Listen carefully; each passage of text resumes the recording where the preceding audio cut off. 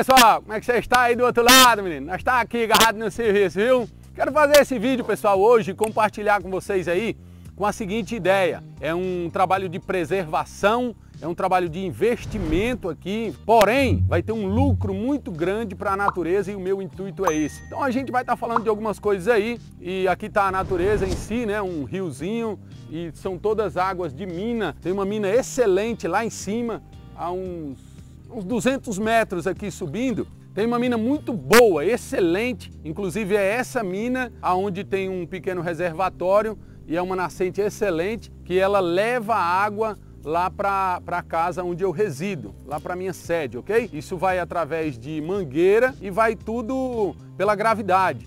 Ela fica num alto, a casa fica um pouco mais lá no baixo e vai pela gravidade. Então a água é muito boa, uma água excelente para o consumo e também algo que está aqui na natureza, como vocês estão vendo aí, né? Então olha o quanto se deteriora o quanto o gado, né, andando dentro. Ó, eu vou andar um pouco mais aqui para poder vocês verem. Olha aqui um passador do gado aqui, ó. Aqui o gado passa aqui, ó. Aí sobe aqui do outro lado, ó.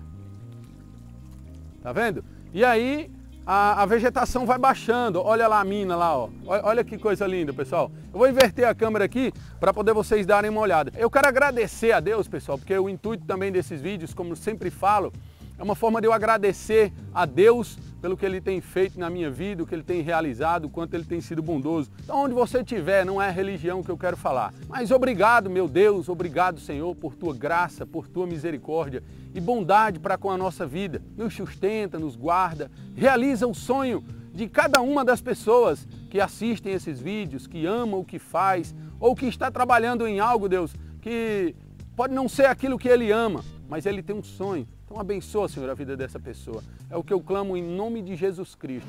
Então, ó, pessoal, aí, ó, água saindo, né, ó. Uma bombinha de água aí, ó. Olha que coisa linda. Então, ó, tudo se deteriorando, porque o gado vai subindo, vai pisando com o casco e vai bagunçando. Aqui uma bombinha de água mesmo. Olha só. Né? Olha que maravilha. Aí imagine quando isso daqui estiver preservado, daqui um ano, daqui dois, ou outro lugar também. Ó, olha só, pessoal, que coisa incrível, ó. Tá vendo? Saindo debaixo dessa pedra.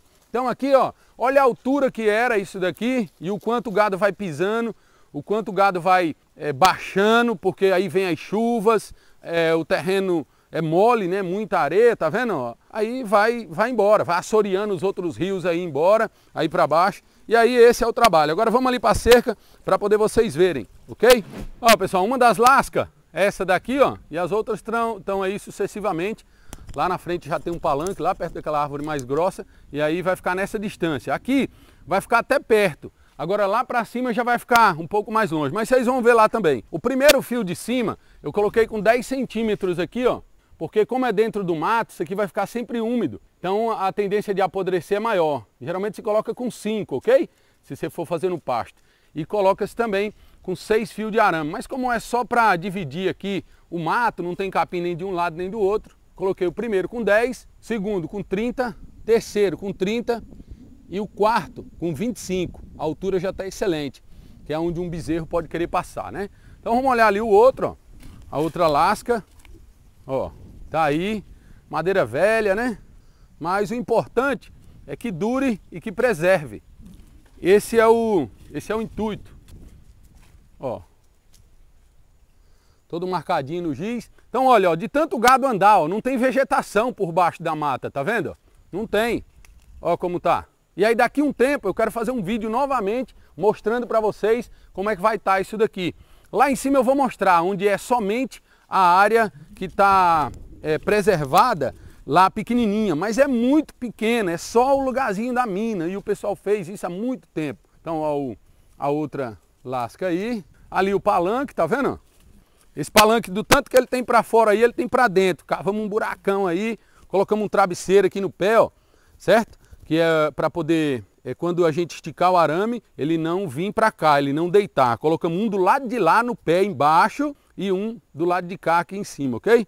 Aqui está o, o motor, é um motosserra com uma furadeira adaptada. Tá aí duas brocas, gasolina e um alicate de pressão que é para poder, se porventura a broca travar, a gente tirar. O tanque está cheio, a gasolina está aqui, temperada com óleo dois tempos, eu coloco numa proporção, como esse motorzinho é um, é um 250, eu coloco 30 ml de óleo dois tempos, o óleo original, óleo Castrol Steel, ok?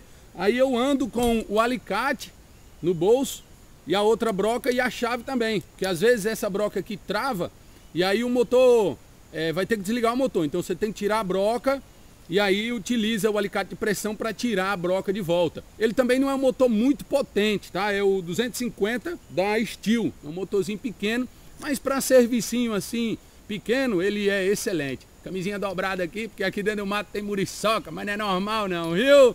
Então bora, agora vamos furar ali e vocês vão acompanhando, ok?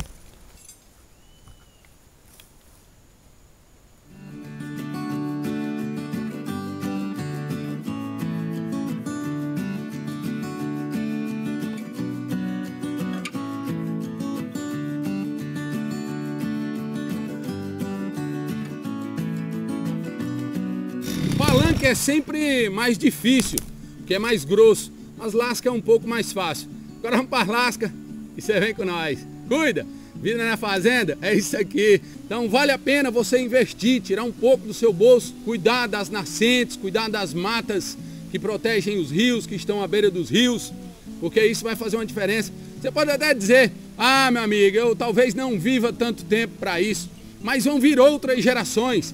E se a gente cuidar, elas vão aproveitar. Então bora, vem com nós, que o bicho vai pegar agora, viu?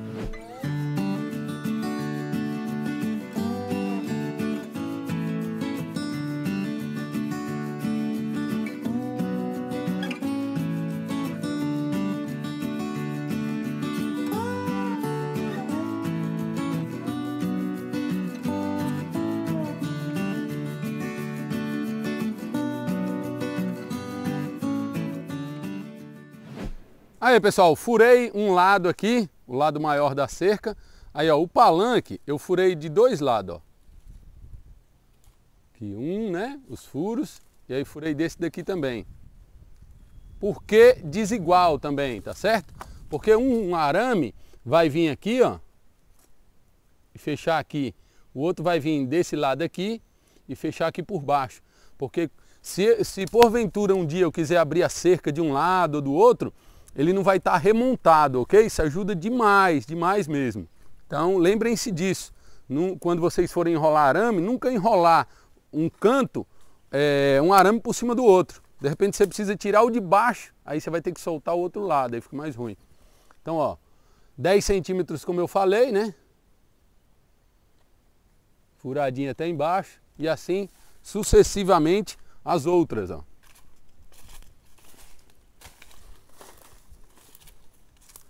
Eu mesmo estou fazendo esse serviço, furando, dá um trabalho, e aí aqui vai ficar protegido daquele mesmo jeito ali. É bem menos a parte, é pequenininha, ó, e uma cerquinha já velha, né? E feita de arame farpado, apesar que o gado não entra, o gado respeita, não tem o que comer lá dentro, né? Mas eu já andei fazendo umas gambiarras aí na cerca, tá vendo? Amarrando e tal. Aí sempre dando trabalho. Falei, se Deus quiser, em nome de Jesus, Olha só como fica a vegetação, coisa linda, né? Em nome de Jesus eu vou cercar essa mina de uma maneira maior, assim, cercar grande, para poder o gado não bagunçar. Então ó, a água, ela nasce mais ali em cima, ok? Lá naquele canto lá, lá no final. A mangueira que vai água lá para casa, ó, aqui está a prova das mangueiras, ó. Tá vendo? Uma, duas ali, ó, outra mangueira aqui, né? Saindo ali, tá vendo? Essa amarela aqui, ó, aqui, ó, tá vendo? Aquela dali é a que vai lá para minha casa, ó que está passando ali. Aí quero dizer para você também, se inscreve no canal, vai lá, clica no vermelhinho aí do lado, viu? Ó. E aí, assim, até teve um amigo que eu estava conversando, ele falou, paga alguma coisa para se inscrever? Não, sabe, você está assistindo o vídeo aí, é só você clicar. Clica no vermelhinho, aí clica no sininho do lado, do lado vai ter um sininho. Aí você clica nele, que aí quando tiver vídeo novo vai chegar notificação para você. E também no gostei, é, porque isso ajuda muito o YouTube vê que o pessoal está gostando dos vídeos, do conteúdo. Deixa nos comentários também dúvida, sugestão, que a gente vai estar tá aí debatendo e vai estar tá conversando. Fechou? Muriçoquinha boazinha, tem? Aí, pessoal. Aqui era bom ter feito no começo, eu cortando os lacres aqui, ó. Mas aqui vocês estão vendo, né, ó. Cortou os lacres, pega o fio de dentro, que ele vai estar tá visível, enterra ele na terra, bota ele na terra assim, ó. Ok? Esse fio aqui, ó, de dentro, que sai por dentro.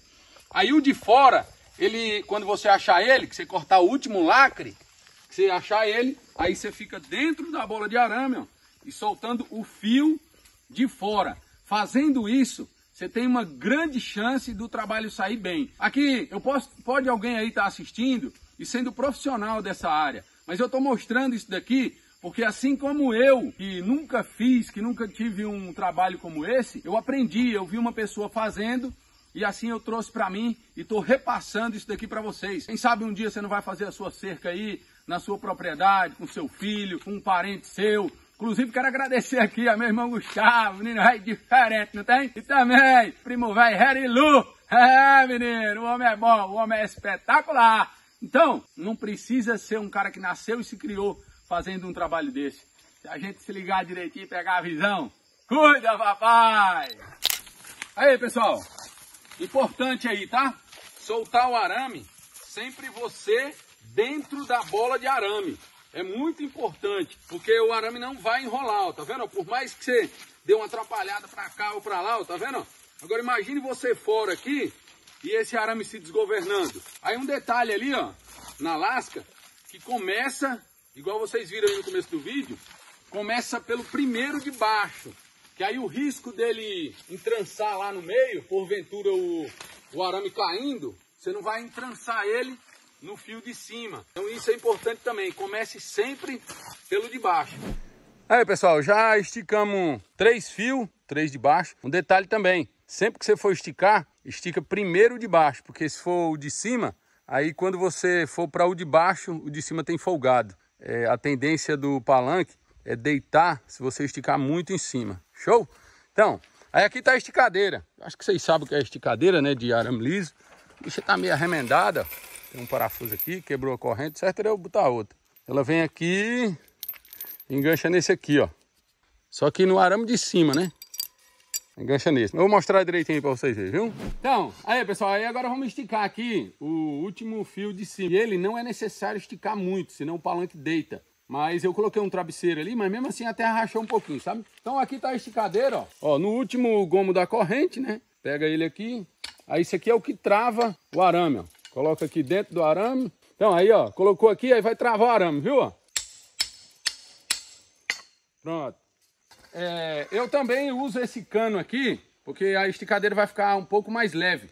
Aí vem o primeiro. Isso é uma ferramenta também, pessoal, que tem que ter cuidado, porque você se ferra aqui quando estiver esticando mesmo escapar. E o bom é em dois, para poder um esticar e o outro trocar os pinos ali na corrente. Mas aí nós trabalhamos aqui só com nós e Deus, né? E Lobinho ali ajudando nós, Lobinho é uma companhia. Aí vai esticando. Agora aqui estica de verdade, viu? Uma vez eu tava trabalhando eu digo, vou ver se esse bicho estica mesmo. Rapaz, eu estiquei tanto o arame que estourou, acredita? É, tá meio ruim. Aí a gente vai se aproximando daqui, dali. Bora devagarzinho também, né? Oi. Aqui bota força, viu? Quanto mais para ponta você puxa, melhor fica. Então, ó. Como é o fio de cima, já tá bom. Agora os outros ficaram bons, ó. Não. E é dentro de uma mata, não tem capim pro gado tentar enfiar a cabeça para vir pro lado de cá. Então aqui tá seguro. Então, pessoal, aí o de cima é importante também que você faça ele assim, ó, por baixo. Aqui, ó. Mesmo que vá travar, né? Que eu vou... A gente vai travar aqui. Aí quando eu falo, ó, dele entrar e sair, ó, se ele ficar assim, ó, tá errado, ó, tá vendo? Isso daqui vai ficar solto. Então correto, ele ficar assim. Agora, aí onde tá a técnica, não tem? Nós dá um, um, um lereadinho, pra ele vir por baixo. Aí, ó, tá vendo, ó?